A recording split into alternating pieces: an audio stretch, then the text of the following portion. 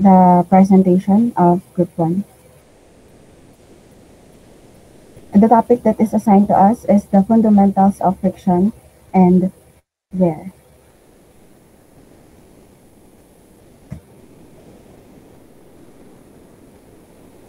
So for the content of this presentation, first is the introduction of our team. Next is the history of tribology, and under that are the fields of friction and wear.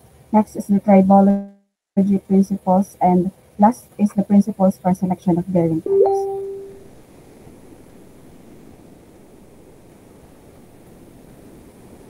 And this is our team or the members of the group one.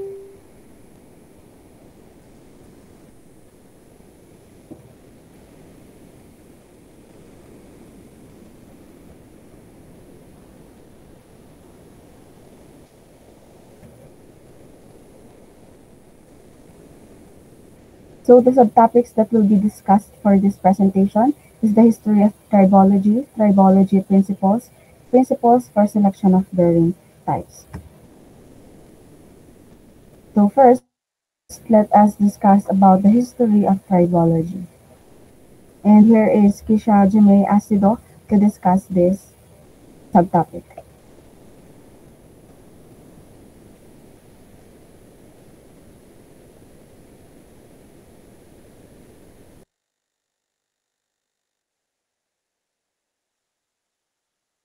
Good morning. I am here to discuss the about tribology. The word tribology is derived from the Greek word tribos meaning robbing and in other words, tribology literally is the science of robbing.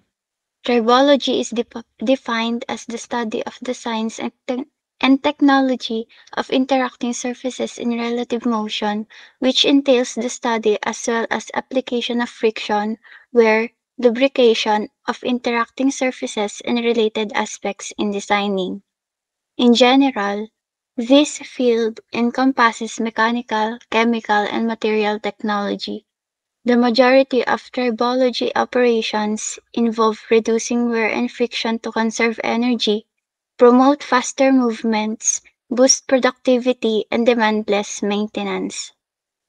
Therefore, Tribological research or breakthroughs in tribological approaches are a key to a society's ability to be sustainable, economically successful, and have a high quality of life.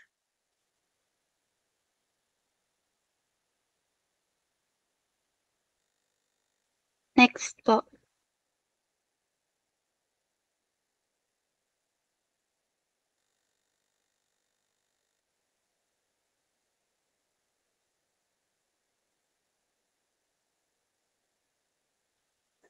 History of tribology.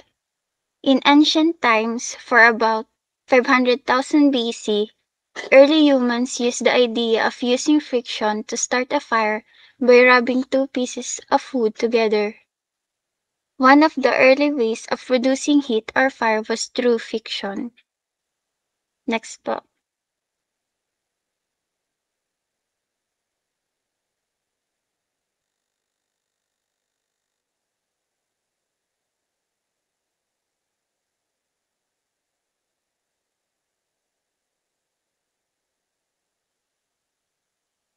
For around 3500 BC, the wheel was invented after we learned the idea that rolling motion required less effort than sliding. The first wheel that was discovered during an archaeological excavation is from Mesopotamia and dates to approximately 3500 BC. Next po.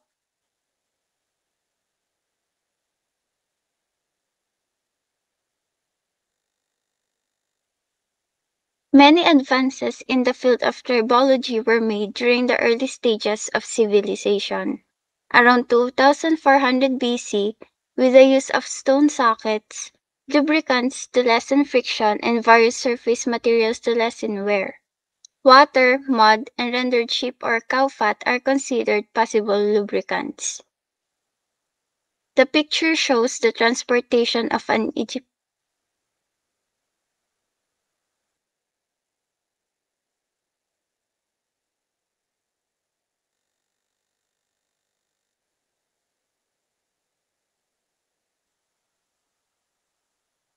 The picture shows the transportation of an Egyptian statue to the grave of Tehuti which indicates that ancient Egyptians already used the concept of lubrication.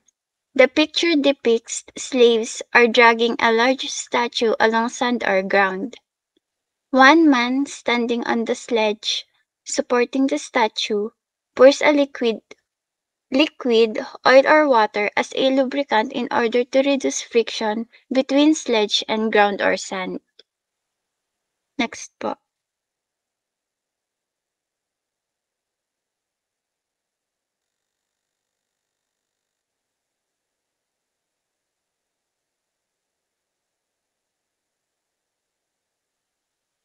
In 1400 BC, it was discovered that Egyptians lubricated chariot axles with animal fats or tallow.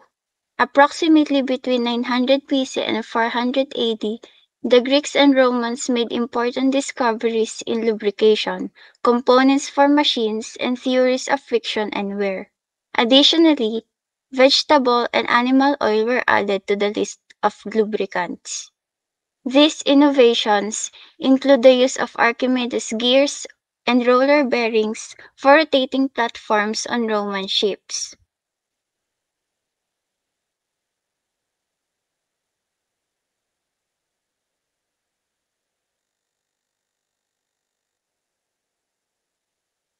Nineteen forty-five to nineteen fifty laws of friction were developed.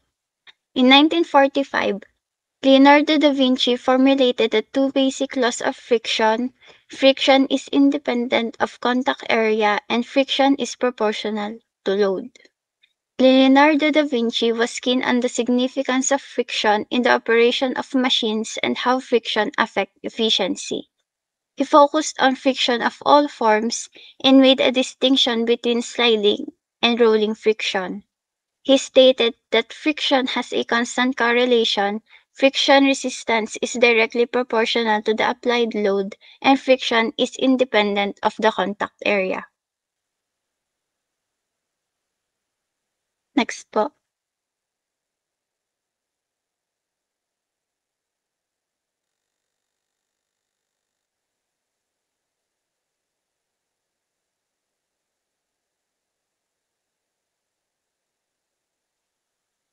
Studying and formulating the fundamental laws of friction, Sir Isaac Newton stated that moving friction was independent of speed or velocity, leading to the creation of the third law of friction.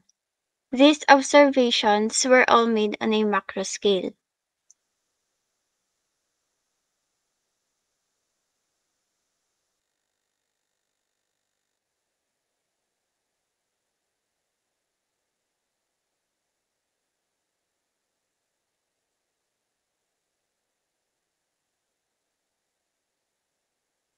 Guillaume Amontos, a French physicist, rediscovered the basic law of friction. He reasoned that wear and deformation of the surfaces were caused by the work done by lifting one surface over the roughness of the other. After Amonton's discovery, scientists believe friction was due to the surface roughness for several centuries. Next po.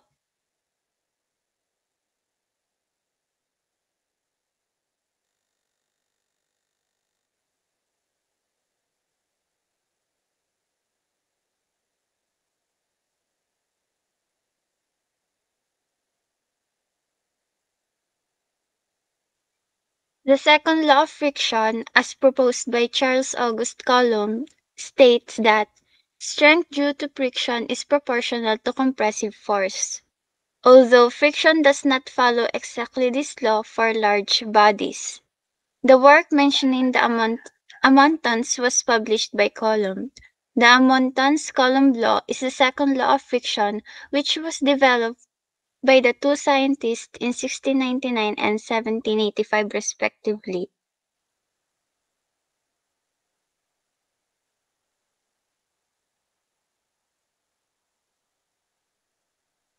In 1950, David Tabor and F. Philip Bowden provided a physical justification for the principles of friction. they discovered that the true area of contact only makes up a small percentage of the apparent contact area. The irregularities form the true contact area. As the normal force increases, more asperities come into contact and the average area of each asperity contact grows. As our understanding of interaction processes has developed, we are discovering that the macro laws necessarily don't apply and that the processes of interaction are quite complex. The frictional force was shown to be dependent on the true contact area, a much more intuitively satisfying argument than what the Amonton's Coulomb law allows. Bowden and, Ta- Bowden and Tabor argued that within these asperities, all of the dynamics of friction take place. Amonton's law of friction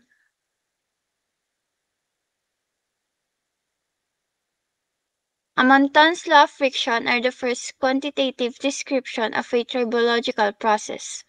Attempts, theories, mechanisms, models to explain these laws have been central to the development of, tribology. Stated by Bill Needleman of Filtration Science Solutions.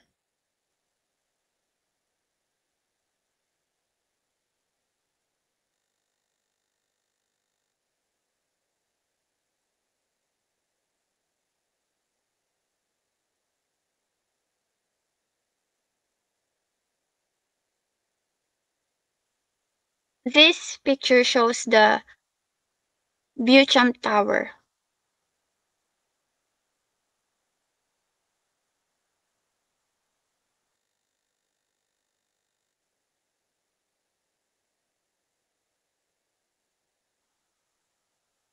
In 1883, the elucidation of hydrodynamic lubrication began in Ireland with testing done by Beauchamp Tower.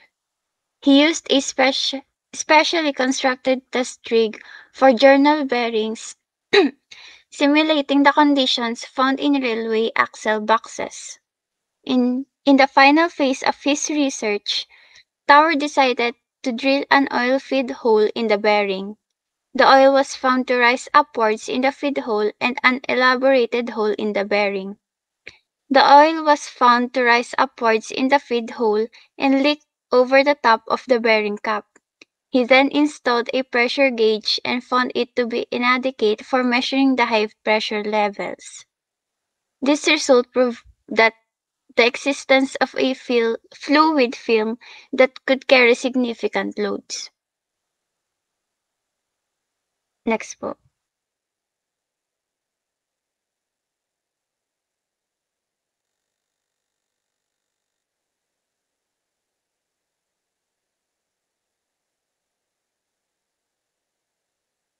In 1886, Osborne Reynolds pub- published an important differential equation describing describing the the increase in oil pressure in the narrow converging gap between journal bearing surfaces. This equation, a variation of the Navier-Stokes equations resulting in a second-order differential equation, was so complicated that it, that it took a while to solve for journal bearings.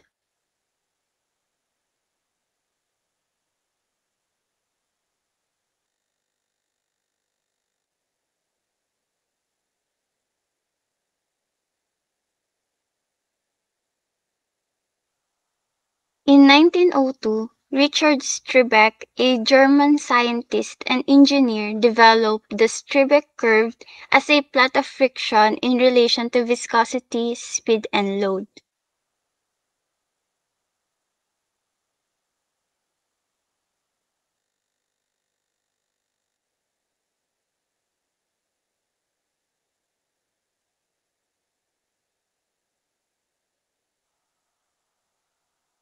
Arnold Sommerfeld improved the ideas proposed by the work of Tower and Reynolds. About 1905, the work became formally recognized as a theory of hydrodynamic lubrication.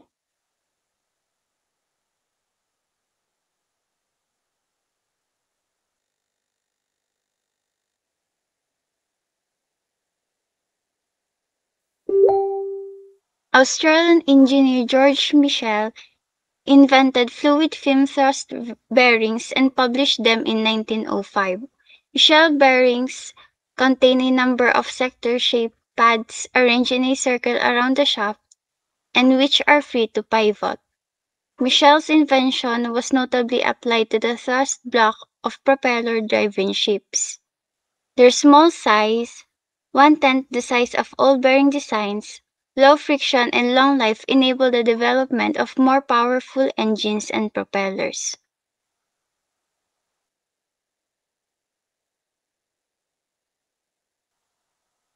That's all po for the history of friction. Ay, tribology po.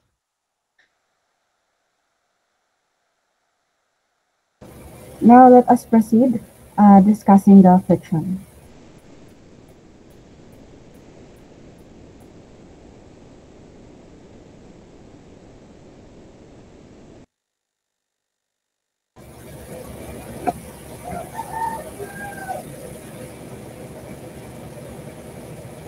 When we throw a ball on the floor, it starts moving with some velocity, but ideally no force should be acting in the direction of motion. And according to Newton's first law, the ball should keep rolling, but this does not happen. Instead, the ball stops after moving a certain distance, so a force must be acting on it. So yung force na yun, tinatawag natin na friction.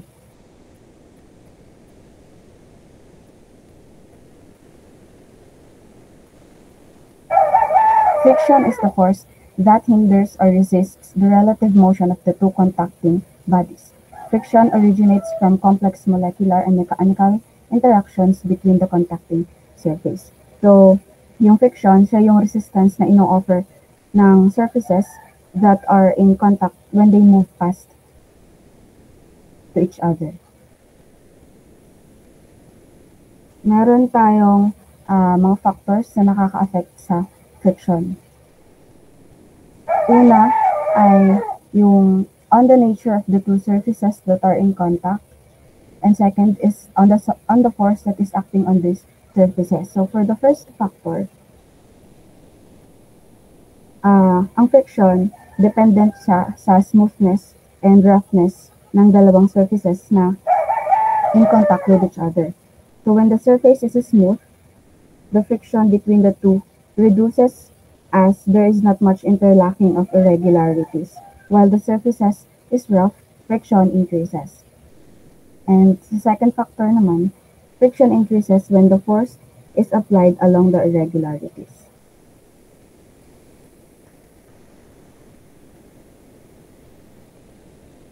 Um, friction formula. Frictional force is directly proportional to the load. Therefore, ang force natin is equals to mu times n. So friction is commonly represented by the coefficient of friction u.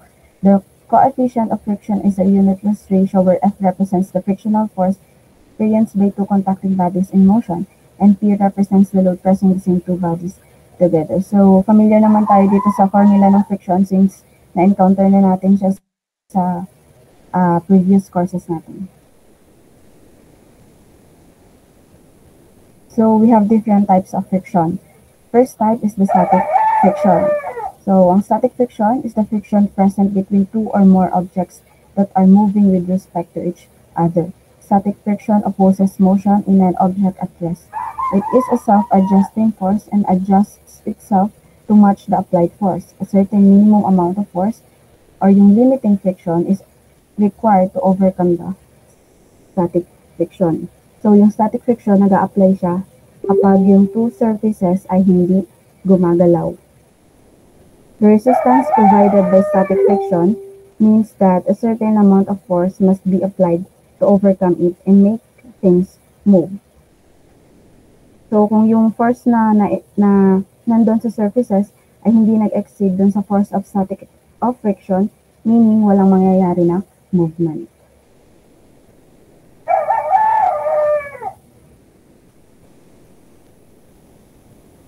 Ayan. So, meron tayo static friction formula din.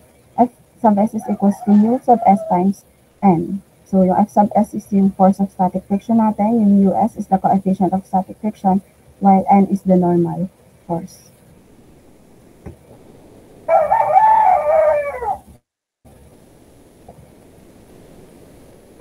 So, meron tayo ditong uh, examples of static friction. So, una ay yung stone on the ground. A stone resting on the ground will not move unless acted upon by some force. So, even the slightest wind cannot push it. It is due to the static friction with the ground. Even if the stone is on a slope, the static friction will keep the stone at rest. Static friction is dependent on the mass of the object. So, the heavier the stone, the tougher it will be to move it.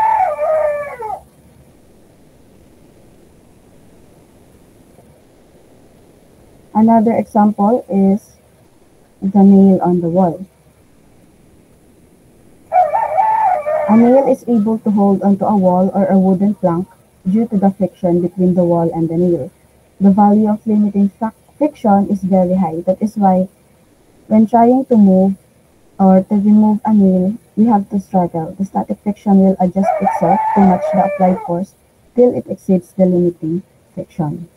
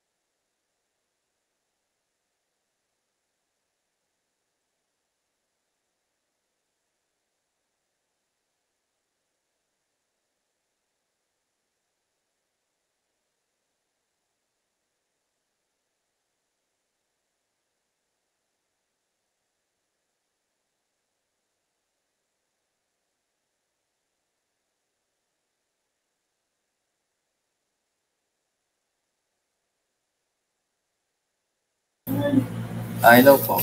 Ah, tawag dito. Hello, sound. Okay. Paano ako? Pakinig ako? Yes po. So, ayun. So, bale... Ano ba? Babalik ko.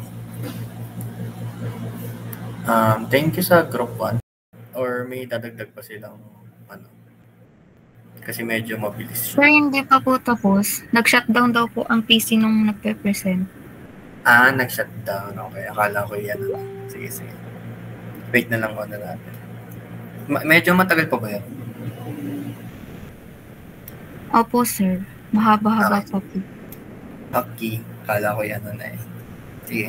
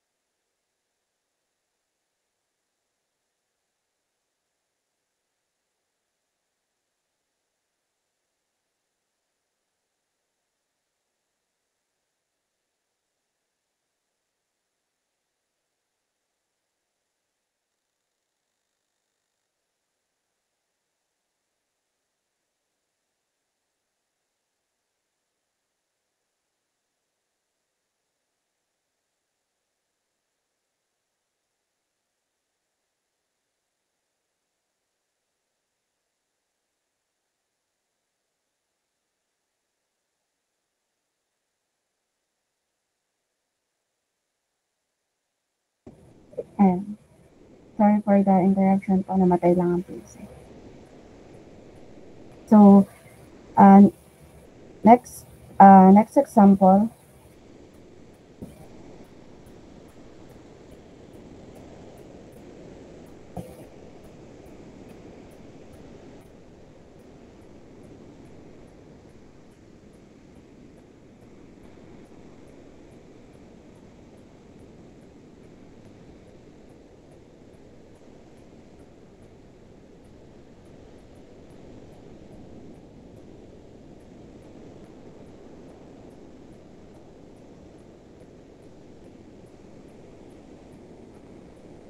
So another example is a car parked on a slope.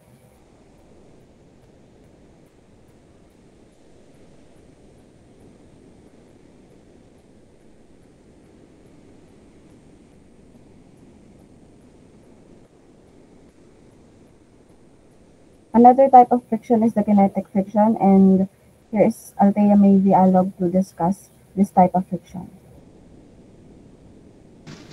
So yun, let's proceed to another type of friction, which is kinetic friction. So kinetic friction is defined as a force that acts between moving surfaces. A force acting in the opposite direction of the movement of a body on the surface is experienced. the coefficient of kinetic friction between the two materials will determine the magnitude of the force. So, we all know that friction is easily defined as the force that holds back sliding object. So, yung kinetic friction is part of everything and ini-interfere niya yung motion ng dalawa or higit pang objects. So, yung force na nag act sa opposite direction ng object ay once mag-slide. So, for example, if yung sasakyan is gusto tumigil or mag-stop, nag-apply tayo ng brake and doon nagiging present yung friction. And another type, and another example is, while walking, if gusto din nating mag-stop or tumigil kasi may gagawin tayo, doon din, ang, doon din nangyayari yung friction. Next.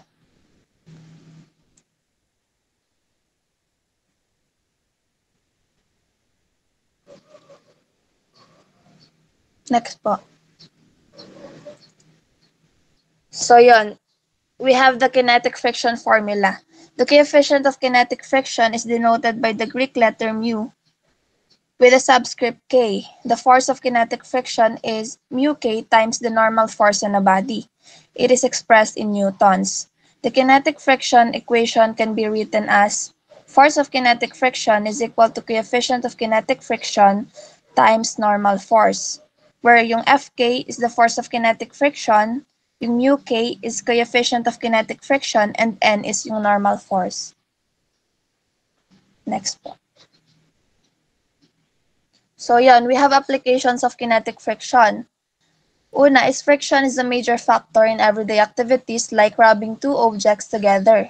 In some cases, the heat produced by the resulting motion eventually ignites a fire. So, yon if lahat ay familiar sa buhay na bato, na pag nirarab natin siya, na, nakakagawa tayo ng apoy. So the frictional force created when two items rub against one another is transformed into thermal energy, occasionally igniting a fire. And machine parts wear and tear due to kinetic friction, hence it's crucial to lubricate the machine parts with oil.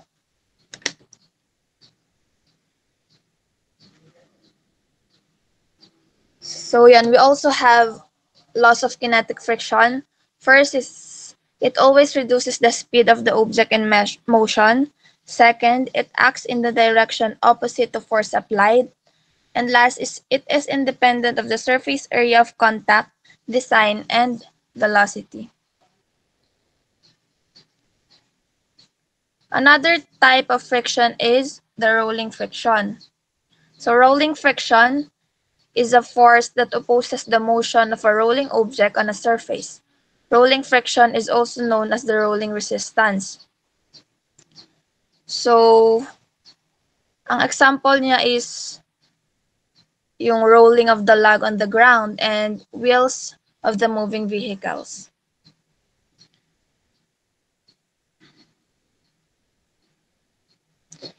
The main reason for this friction is that deformation requires more energy than recovery does. Additionally, a steady effort must be made to, to counteract an adhesive force that exists between the two surfaces.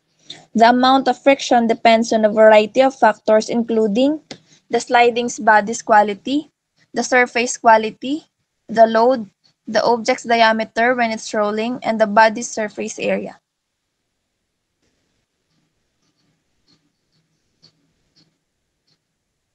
So we also have the rolling friction formula. Determining the coefficient of this friction is considerably more complex than that of sliding friction. Coefficient of rolling friction is the ratio of the force of rolling friction to the total weight of the object. In empirical terms, the coefficient of rolling resistance can be expressed as Fr equals mu Rw or yung N, which is the normal force of the rolling body, where Fr is the resistive force of rolling resistance, mu r is the coefficient of rolling resistance, and W is the weight of the rolling body, or N, which is the normal force of the rolling body.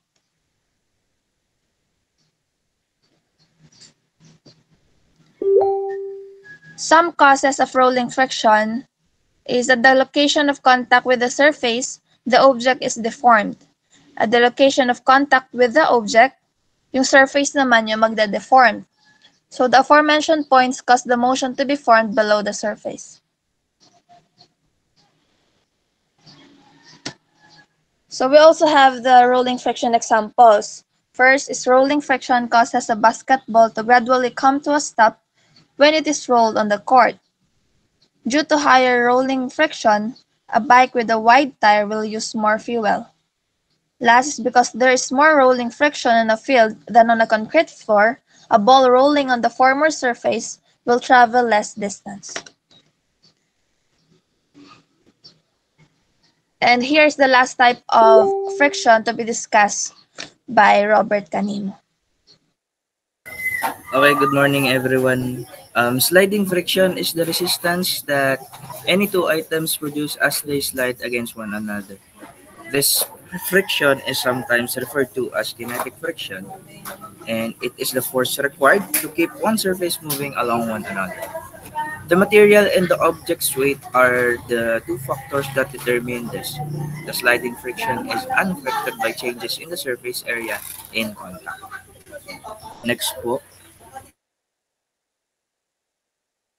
So here's the formula for sliding friction. The equation of the sliding force includes the coefficient of the sliding friction times the normal force, where Fs is the force of sliding friction, the mu s is the coefficient of sliding friction, and n is the normal force. Next.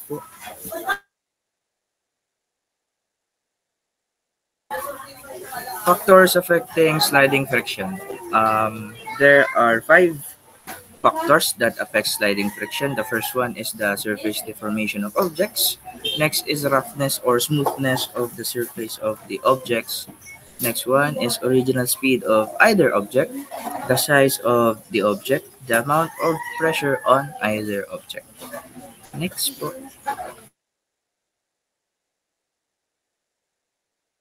Here are some examples of sliding friction. Rubbing both hands together to produce heat. A child sliding down through a slide. A block being slid through the floor. And cards sliding against each other. Next. Where? Next. Where is the process that occurs when two solid surfaces are sliding or rolling against one another?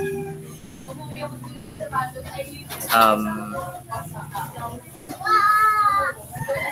and involves the removal of material from one or both of the solid surfaces.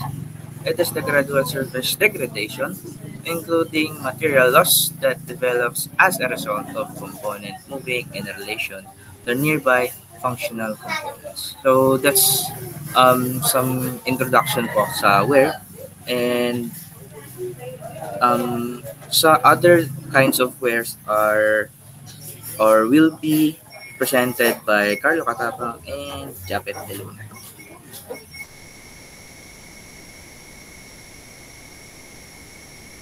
Good morning, everyone.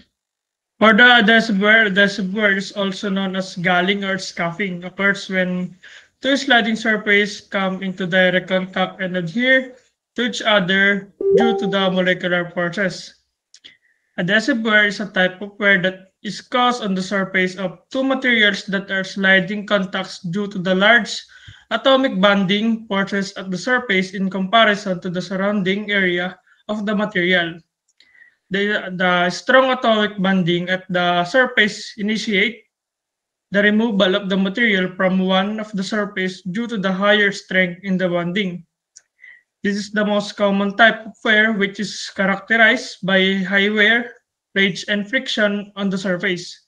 The failure in the lubrication on the surface causes the contact in the sliding surface interface, resulting in the in the high adhesion and leading to adhesive wear. So, balik po sa kapag daw po merong dalawang bagay na nagko-contact each other or nagkikiskisan, kumbaga, can create, initiate contact, intimate contact, sorry, intimate contact na na the two material can result in surface damage. So halimbawa po, kapag ilagay po natin sa mechanical engineering. Halimbawa po sa makina ng sasakyan, aware naman po tayo na ang makina po ng sasakyan is may piston. So, bali po, ang trabaho po ng piston is taas baba, taas baba lang po siya sa ating sa ating engine block. And ang ilalim po ng ating engine block is meron po tayong tinatawag na engine oil. So bali po, ang trabaho po ng engine oil is uh, na ang trabaho po ng engine oil is tumulong sa piston para po gumana po ito ng smooth. So bali po pag nawala po yung engine oil is maaari pong mag-stuck po yung ating piston at yun nga po madadamage po yung ating engine block. So bali po ang layunin po ng ating adhesive wear is sa pag-unawa ng adhesive wear, may iwasan ang mga ganong pangyayari. Kaya may meron tayong mga tinatawag na lubrication, lub, lubricant or yun nga po mga mga oil. And tulad din ng tulad din ng mga bearing. So kailangan din ng ng lubricant or grasa para gumana ito ng maayos. Next po.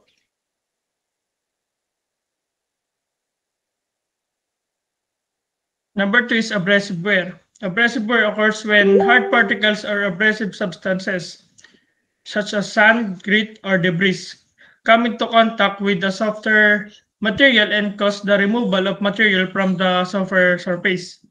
Abrasive wear is the type of wear mechanism that results in the disintegration of the material on the surface due to the influence of the hard particle in the contact with the surface. It also occurs when a hard surface of, or particles interact or slide in the soft surface and cause material loss. This is a type of wear that occurs due to the loading of solid particle on the surface of the material which is having hardness that is equal or lesser compared to the loaded particle. Kung sa adhesive wear po is um, kailangan ng lubricant para hindi po ma-damage yung mga bagay. Dito naman po sa sa abrasive abrasive wear is tuma, tumutukoy sa mismong nangyayaring damage sa mga bagay. So ang halimbawa po dyan is kunyari po nasa disyerto po tayo. Tapos nagkaroon po ng sandstorm. So tapos nakasakay po tayo sa, sa sasakyan alam naman po natin na pag sandstorm po is nakakaapekto po ito sa sasakyan. And one, once po na na yung mga buhangin po is tumama na sa sasakyan, doon na po nangyayari yung abrasive wear dahil nadadamage po ng ng sand yung atin pong pintura ng mga sasakyan. Dahil po gamit po yung mga abrasibong abrasibong particle galing sa sand na magsisilbing ab- abrasibong tool para po makadamage sa ating mga sasakyan. And para po sa sunod po is si Japet na po ang magpapaliwanag. Um, good morning po.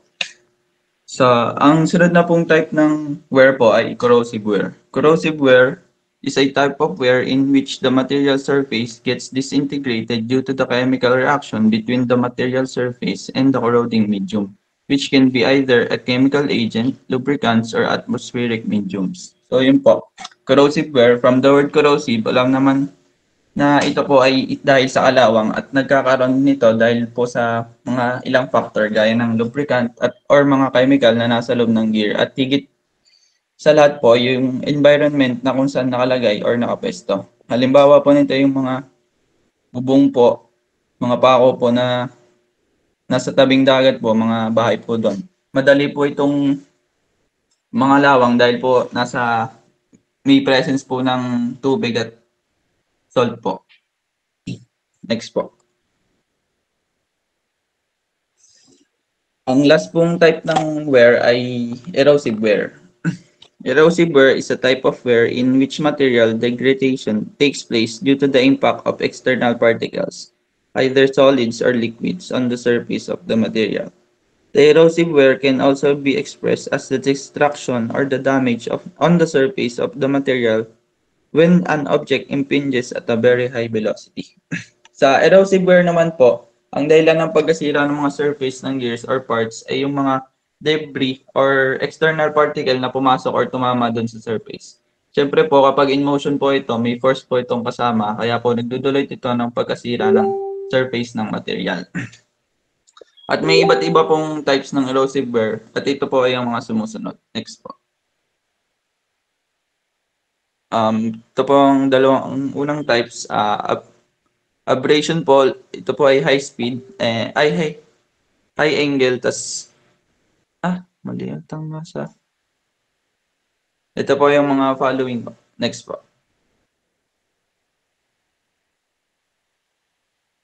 Ito po yung fatigue and plastic dis deformation. Ang sunod na topic na po ay principles of tribology at i-discuss po ito ni DJ po. Magandang umaga po. Ang unang po natin tribology principle po ay dry sliding po. Dry sliding is the force that opposes one solid surface sliding across another solid surface. Dry sliding always opposes the surfaces sliding relative to one another, and it can have the effect of either opposing motion or causing motion in bodies. Dry sliding wear occurs when two surfaces slide over each other. Sliding wear on the surface of light alloy components occurs in two ways. Abrasive wear happens when there are two hard particles between the two surfaces. These particles scrape or plug materials from one or both of the surfaces, causing material loss. Ang halimbawa po ito po ay, nakita po natin sa picture po na may tumutulak na karton. Tapos sa ilalim po ng karton, yung contact po ng karton, yung karton sa sahig po, kapag tinutulak po natin, may, may friction po or may sliding po nagkakos. Pero ang sliding po yan, yung walang mga rollers o support para matulak ng madali, yan ay papahirapan po. Parang dry lang po. Kaya dry dry sliding po kung saan walang mga rollers or papang support pang tulak na madali itulak ang karton po. Tapos po ay ito po ay surface play, surface films at asperity contacts between rubbing surfaces po. Next po. Ang sunod pong tribology principles po ay fluid fil, fil, film lubrication. Fluid film lubrication is the lubrication regime in which there are continuous fluid, fluid film separation solid surfaces with the characteristic, characteristic that the external load on the solid surfaces is fully supported by the pressure generated with the fluid film. A load super, super, super supporting pressure is commonly generated by one of the following types of action. Sa fluid film lubrication, makita po natin sa mga makina po ng masasakyan or mga machine po. Kung saan po nagpapatulong po sa para hindi masira ang makina po, para tuloy-tuloy po ang paggamit sa kanya. Para may longevity of, longevity of the machine para hindi magkakos ng problema sa production or sa paggamit po. Tapos po, ang iba't ibang types ng fluid film lubrication po ay hydro, hydro, hydrodynamic lubrication is a term that defines a situation in which two rubbing surfaces are separated by a thin film of lubricant. This situation is often beneficial and lubrication is used to reduce friction or wear of rubbing solids with the aids of liquids or semi-solid lubricants. As what as pag sina, yung sinabi po kanina ni Giancarlo po doon sa po sa makina po ng kotse po kung saan nilalagay po ng mga engine oil para yung combustion or yung piston para umakanat ng easily para hindi ma-wear down o makakaroon ng sira po sa loob ng makina. Para hanggang tumatagal ang gamit, tumatagal din ang longevity ng makina po para hindi ma-cause ng problema sa may-ari po. Tapos po yung another example po yung combustion po combustion po ng sa makina po para easy flow lang sila po. Next po. Another type is fluid film lubrication. The, the squeeze film has great importance for enhancing transport process in energy system like turbo machinery, this this clutches and vicious lock system. Ang ang example po dito parang doon sa, sa preno po sa sasakyan or sa clutch po. Kung madali i-pasok po kapag may clutch fluids po. Papatulong po para mapasok sa first gear, second, third, fourth, fifth, tas reverse po. Para hindi mahirapan po. Tapos pag brake fluids naman para magaan, pagtapakan po ang preno, ang brake pedal po. Tapos sa sa diagram po, makita po natin yung tatlo, tatlong example po. Una is yung hydrodynamic, tapos squeeze film at yung external. Tapos mga load po sa bearings po niyan po. Next po. The last type of tribolic, the last type of fluid film lubrication is external pressured. Externally pressured bearings are, as the name suggests, supplied with a source of pressure that supports the load. They are used in many precision machine tiles with great success, but wide application is limited, often by the extra power consumption associated with the pumping power that has to be provided. Example po ito, yung mga hydro, yung nag, hydro squasher po, yung nagpipirat po, yun ang po mga example po. At mga pagpal, mga jumper po, may meron po external expressor na tumutulong pa ang atin ng kotse po. Tapos yan mga, tapos sa diagram po, mga bearing type po, tapos mga flu, mga pressure na sa isang isang bearing type po. Tapos ang next po, mag, ang next po ay mag say dong ano po. Salamat po. Uh, para naman sa electrohydrodynamic lubrication or EHL, ito yung klase ng hydrodynamic lubrication where the pressure is large enough resulting in the elastic deformation of lubricated surfaces. It is significant for all lubrication since it is applied in various mechanical components gaya ng roller bearings, cam tappet system, flexible seals, at iba pa. So EHL is influenced by these three main factors. Una ay yung elastic deformation of the contacting bodies caused by the applied force. And yung sunod ay yung hydrodynamic action and training lubricant between contacting surfaces. And lastly is yung viscosity variation of the lubricant. Next slide po. Uh, there are two following distinct regimes existing in EHL. So the major factor used to determine whether it is hard or soft EHL is the pressure applied to the lubricant's viscosity, which is essential para sa body's elastic deformation. So, yung hard EHL, yung maximum pressure niya ay uh, nag-reach ng 3 to 4 gigapascal and the minimum thickness of the film is in the range 0 to 1 to 1 micrometer. This type of lubrication is seen mainly in applications like rolling bearings, gears, cams, rail wheel contacts, and others. Para naman sa soft EHL, in this case, yung maximum pressure is 1 megapascal and due to the low pressure in the interface of the contacts, it does not affect the lubricant's viscosity and yung sa calculation naman ng minimum, minimum film thickness, hindi na kinoconsider yung pressure viscosity coefficient since it does not vary much. Yung practical applications nito ay sa mga tears, seals at ibang machinery with rubber or plastic-based lubricated contacts. And lastly, for the tribology principles, ay yung boundary lubrication. Next slide po. Uh, boundary lubrication occurs when a fluid film cannot be formed or sustained due to heavy loads, low running speeds, high surface roughness, and for the lack of lubricant supply. It is also associated with metal-to-metal contact between two sliding surfaces of the machine and this involves a single monolayer of lubricant molecules na inaabsorb ng bearing surfaces and ina-avoid nito yung surface wear by delaying or preventing the surfaces to contact directly. Next slide po. Sa boundary lubrication, may mga factors na, na nakakaapekto sa regime nito. Una ay yung surface structures and compositions. Uh, materials undergo a variety of fabrication and manufacturing stages bago sila gamitin in particular ap- applications. And during these stages, may mga contaminations na pwedeng makaapekto sa surfaces causing changes sa bonding structures or chemical compositions.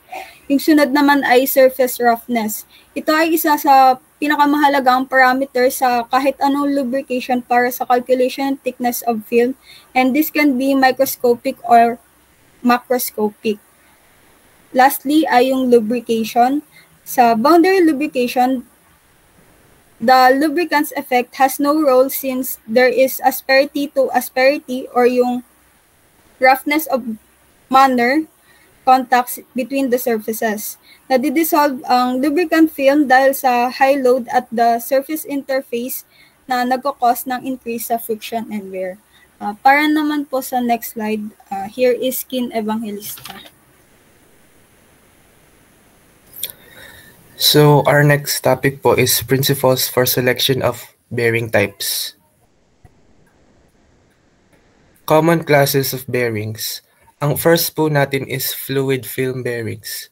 Fluid film bearings are machine elements designed to produce smooth, low friction motion between solid surfaces in, rel- in relative motion and to generate a load support for mechanical components. The lubricant or fluid between the surfaces may be liquid, a gas, or even a solid. Fluid film bearings, when well designed and operated, are able to support static and dynamic loads, and consequently, their effects on the performance of rotating machinery are of great importance. So, ang flu- fluid film bearings nga po ay isang machine elements na ginawa para po makapag-produce ng smooth motion between solid surfaces. Next slide.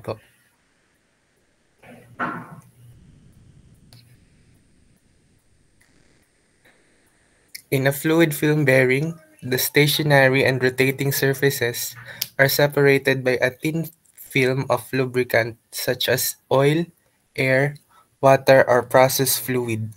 In a hydrodynamic fluid film bearing, the film pressure that separates the surfaces is created by the relative motion of the surfaces as the lubricant is pulled into a converging geometry between the surfaces. No contact of the surfaces take place except during startup and shutdown. So, dun po sa fluid film bearing, wala pong contact na nagaganap except lang po during startup and shutdown. Next slide po. Ang sunod pong common classes of bearings is the dry bearings. Plain bearings containing solid lubricants are used without any external supply of lubricant. These are called dry bearings. Some marginally lubricated and dry bearings can carry load as high as rolling element bearings and fluid film plain bearings, but they are limited in speed as shown in the figure. So makikita nga po natin sa picture yung pong different types of dry bearings. Our next common class of bearings po will be discussed by Adrian Liesa. Uh, the next type, the next classes of bearing is the semi-lubricated or the semi-lubricated bearings. So semi-lubricated bearings combine the aspect of both fluid film and dry bearings. They use a solid material that contains a small packet or reservoir for lubrication.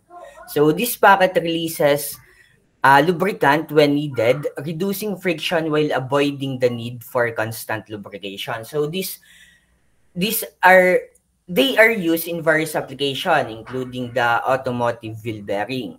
Mostly, the, the semi-lubricated bearing are made of porous material, usually metal. The lubricant, which could be oil or grease, cannot provide a complete fluid film but usually act as a boundary lubricant. Semi- semi-lubricated bearing can carry greater loads at greater speed than dry bearing but not as high high as either fluid film or rolling element bearing. Next slide. The next class is, is the rolling element bearing. The primary purpose of rolling element bearing is to allow two moving parts to rotate relative to each other with minimal friction and wear.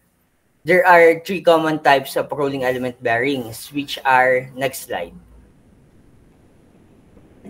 First one is the roll is the ball bearing. This bearing use small spherical balls to separate the inner and outer races, reducing friction and enabling smooth, rota- smooth rotation. They're, they are common, common uh, as you can see in the picture, uh, ang ginamit dito na parang pang yung nasa loob ng pinaka outer at saka inner na parang braces ay bilog kaya siya tinawag na ball bearing. They are commonly used in a wide range of application in a wide range of application from automotive wheels to industrial machinery. Next slide.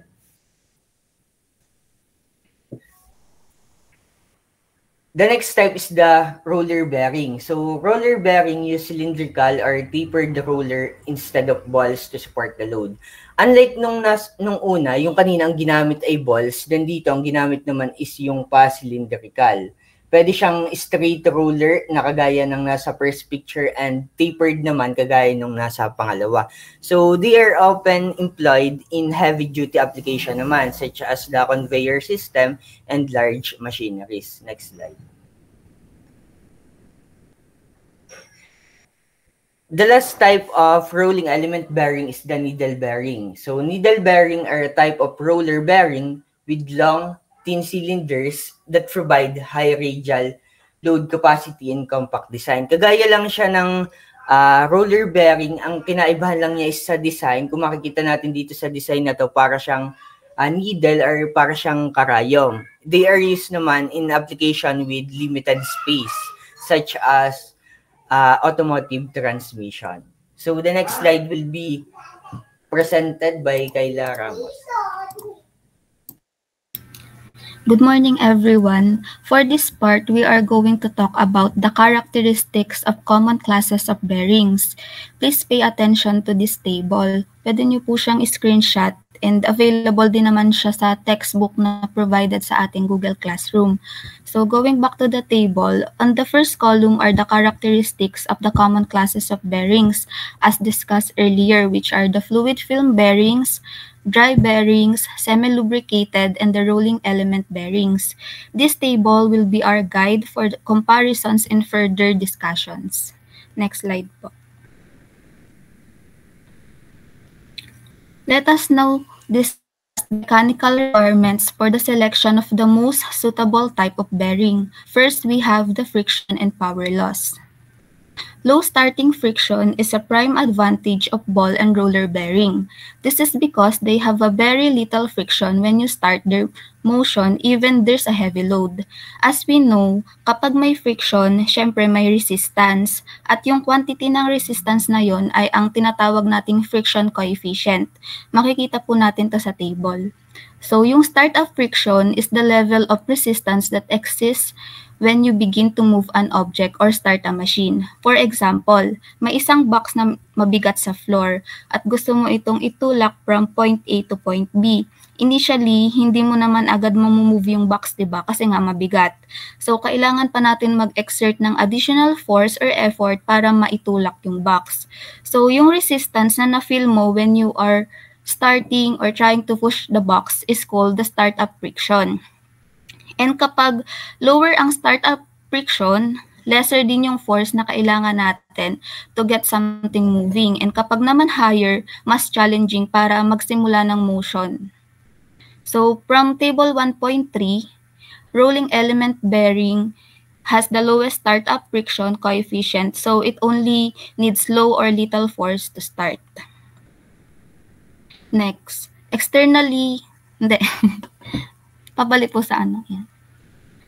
Externally pressurized oil lift pockets provide the oil film bearings with zero starting friction in a variety of large and heavy machines, such as electric generators, hydroelectric dams, and utility power plants. So, paano po ba nag-work yung externally pressurized oil lift pocket? So, it works by creating a cushion of pressurized lubricating oil between the moving and stationary component of a bearing. Yung cushion oil na ito ay effective para ma-separate yung mismong surface at mabawasan ang direct contact between the components. Take a look at this picture. Yan po ay isang bearing. Uh, ang bearing is equipped with the lubrication system that supplies oil to the bearing. Within the bearing, may design pockets or chambers known as the externally pressurized lip pocket na nakapwesto between the rotating component like shaft and stationary component like house of the bearing. Yung naka-point out po dyan sa picture ay yung lifting pockets. Then meron din external pressure source like the pump na connected naman sa lift pockets. And yung pump ang magpupush sa oil para makarating sa lift pocket. And kapag naman na-introduce na yung oil sa lift pockets, it will form a thin film of lubricant between the rotating and stationary component. This film acts as a barrier preventing the metal-to-metal contact. Yung absence ng metal-to-metal contact will reduce the friction between the components resulting to minimal starting friction. And beneficial po yung low friction since it will promote energy efficiency by reducing the amount of power needed to operate the machine. Next po.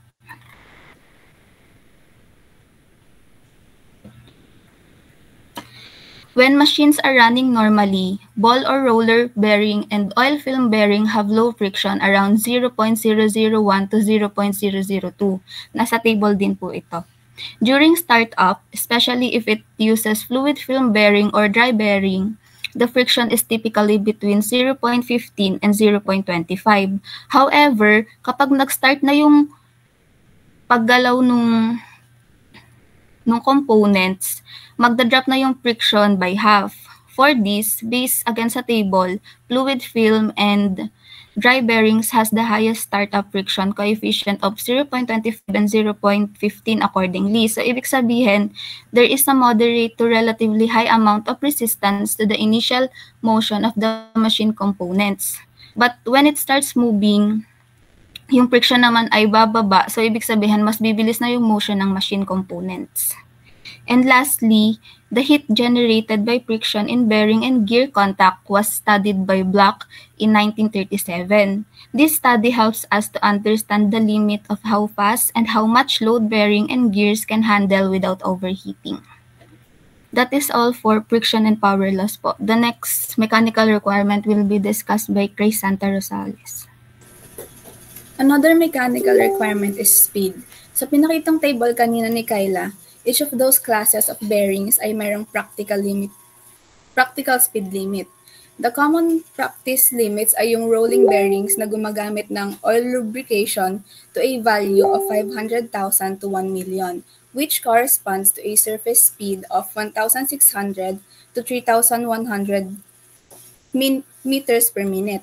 Yung mga limits na may fluid film, film bearings, they are much higher and less well-defined, but their surface speeds in turbine bearings range up to about 8,700 meter per minute. A typical dental drill uses air, air for journal bearing lubrication while spinning smoothly at speeds of 300,000 RPM. Much lower speed limits in the range of 100 to 500 meters per minute are imposed by surface heating effects with dry and semi-lubricated bearings where yung appropriate operating zone po ay nasa figure in the next slide. Next po. Ayan.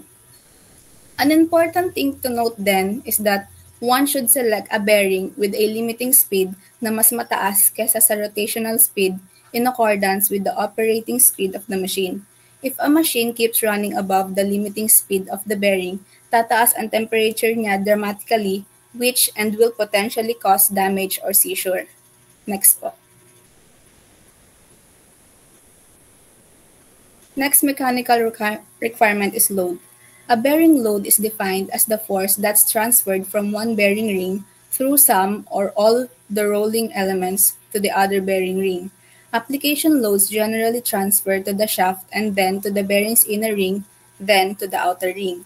Yung rolling element bearings are generally more versatile in being able to carry their fatigue-rated load at all speeds from zero pataas at sa lahat ng directions with normal lubrication. Yung load capacity naman ng oil film bearings is more of a function of speed and oils, oil viscosity with their influence on oil film formation. Dry and semi-lubricated porous metal and plastic bearings encounter a surface heating limit in their PV factor which is contact pressure times surface velocity. It gives much a much lower load limit with rising speed but high loads are possible with appropriate material combinations at low speed. I'll just add then that Hydrostatic bearings using externally pressurized oil have been used to support enormous structures such as observatory domes, telescopes, and large radio antennas, where weight requirements range from 250,000 to over 1 million pounds. Also, momentary shock loads can be reasonably tolerated by both fluid film and rolling element bearings. Rotor unbalanced loads and cyclic loads in internal combustion engines are well carried by oil film bearings.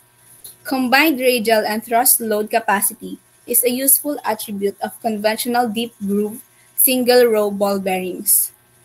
Yun lang po for the load and the next mechanical requirements po are to be presented by Nino Salazar. Good day everyone. Uh, so I am going to discuss life and lubrication under mechanical requirements of bearing types. So first, let us define life or bearing life or life limit. So bearing life is essentially the length of time a bearing can be expected to perform as required in predefined operating conditions. Uh, it is based primarily on the probable number of rotations a bearing can complete before it starts uh, showing symptoms of fatigue such as spalling. Uh, yung spalling is uh, breaking into smaller pieces or cracking due to stress. So yung fatigue life of an individual bearing uh, is the number of revolutions nga na magagawa ng bearing uh, bearing operates before the first sign of metal fatigue. So makikita natin yung signs ng metal fatigue sa one of its rings or rolling elements. Uh, next slide. So dito naman makikita natin ang comparison ng items life limits included in table 1.3 nga. Uh, rolling element bearings have a distinct fatigue life limit uh, which results from the repeated contact stressing of the balls and rollers on their raceways, while fluid film bearings in the usual rotating equipment provide essentially unlimited life. Uh, the same life pattern has been found with rolling element and oil film bearings. However, in industrial electric motors where maintenance needs and contamination commonly dictate life. Uh, fatigue life is also a limiting factor for oil film bearings under cyclic loading in internal combustion engines. Uh, on the other hand, in dry and semi-lubricated bearings, life is estimated from a wear coefficient, which relates wear rate to unit loading and peripheral sliding distance. In the rapidly expanding use of this class of bearings, life is also related to temperature, contamination, and other environmental conditions. Uh, next slide. Uh, next one is lubrication.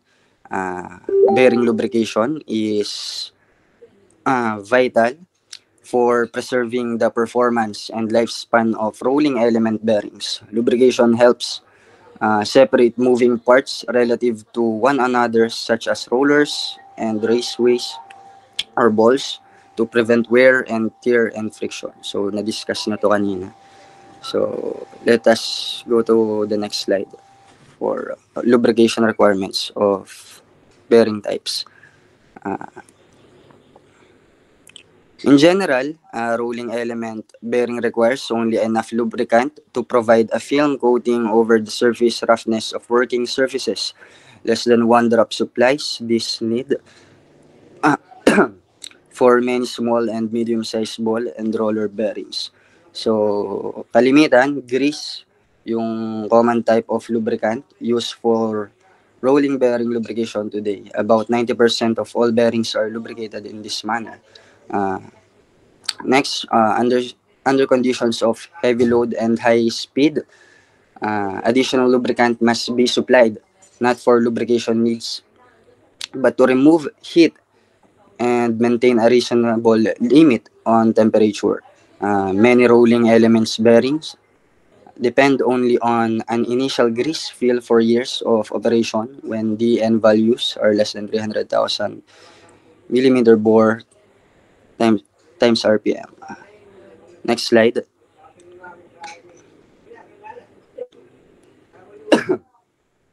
While no oil is usually fed to small sliding type bearings, which are to operate dry or semi-lubricated, uh, oil film bearings generally require relatively large quantities of oil to maintain the separating film between the bearing and its mating surface.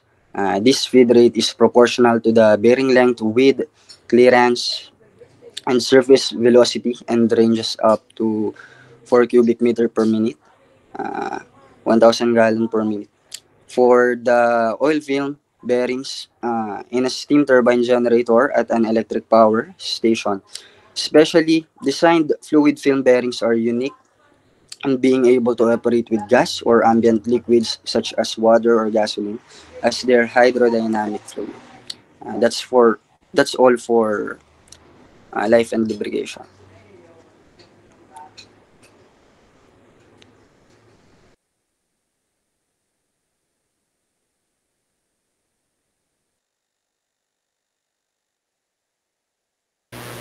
So, good morning to everyone. Uh, ang another mechanical requirement for the selection of bearing type is space requirement. So, low profile bearings are dry and semi-lubricated. Most frequently, a bushing or thrust washer is made of porous metal plastic or plastic lined bearing. So, ang bushing po or thrust washer ay type of bearing po na commonly used for machinery with rotating or sliding shafts para ma-improve ang efficiency and reduce vibration and noise. These bearings have just the right amount of wall thickness to provide them the necessary strength for insertion into a housing that supports them. Ball and roller bearings typically have an outer diameter that is one and a half to three times larger than the bore, and an actual dimension that is between one-fifth and half the diameter of the shaft. Next slide, please.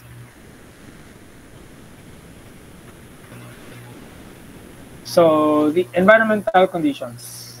Among the significant environmental elements that must be taken into account are temperature variation, dampness, filth, and corrosive atmospheres. A defined design technique is currently available for each bearing type to satisfy the majority of typical environmental requirements. Designers must take into account additional operating parameters and environmental circumstances that could affect lubricant performance and life in addition to temperature, speed, and loads. Next slide. Please.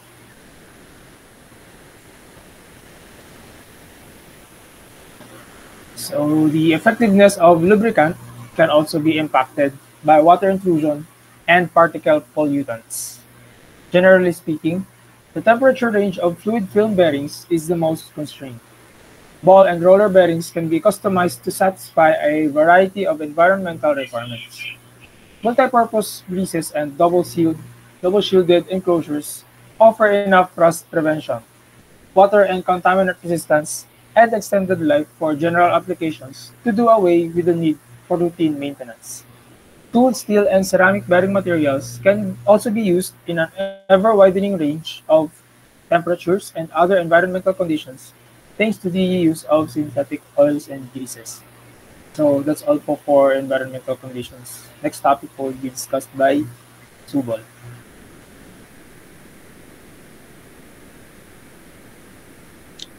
Next, next are the economics. Cost, maintenance, and life are the crucial factors to take into consideration. And when choosing a bearing type, the overall economic factors taken into account include not only the initial cost of the bearing but also subsequent costs for maintenance and eventual re replacement during its functional life. Next po. First are the cost. Initial cost is frequently a major selection factor in situation when other considerations are not determinant. For a lot of mass-produced things such as tiny electric motors and home appliances, For examples are the dry and semi-lubricated bushing and truss washer are by far the lowest cost and are seeing steadily, steadily expanding use in bore diameters up to a roughly 25 millimeter and used for automotive components with a low surface speeds and small loads. Next one is the mass-produced oil film bearings of lower sizes also falls into low cost, low cost category for vehicle engines, appliances, and fractional horsepower motors, and in bigger sizes for high loads and high speeds, such as utilized with auxiliary oil supply systems, including cooling and filtration, and also expensive oil film bearings are more popular. Next po. Next are the maintenance and life. In some cir circumstances, maintenance and life are variables that must be taken into account when choosing a bearing type.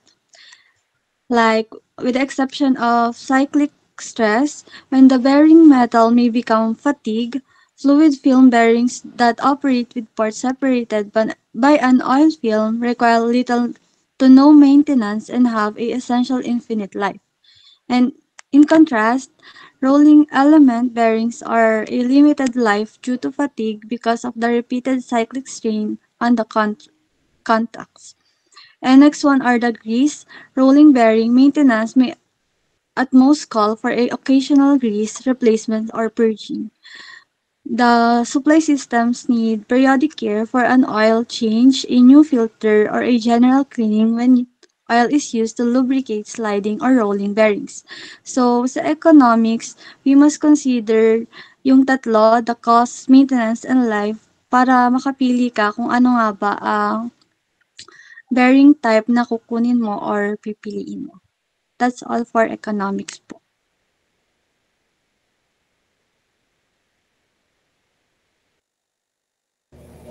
So that's all for our report.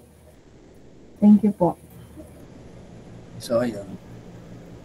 So, thank you Group 1 sa presentation nyo. So, bale, na-discuss dito talaga yung parang ano lang, intro ng tribology.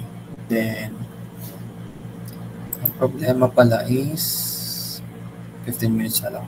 So, anyways, mm, next week, or next meeting pala, rather, magpapakus muna si Group 1 bago mag-present si Group 2 para dire-diretso na.